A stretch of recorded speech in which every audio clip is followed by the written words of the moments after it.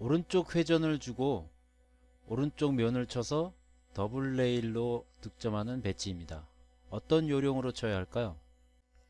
이렇게 제각으로 치는 더블 레일은 두께를 실수하기가 매우 쉽습니다. 특히 코너 가까이로 보내야 하는데 일적구를 두껍게 맞추면서 더블 레일을 형성하지 못하는 경우가 많으므로 두께를 정확하게 칠 수 있는 요령을 터득하는 것이 중요합니다. 그러기 위해서는 거리가 가깝다 하더라도 스쿼트 현상이 일어날 수 있다는 것을 알고 조금 더 밖을 겨냥해서 쳐야 할 것입니다.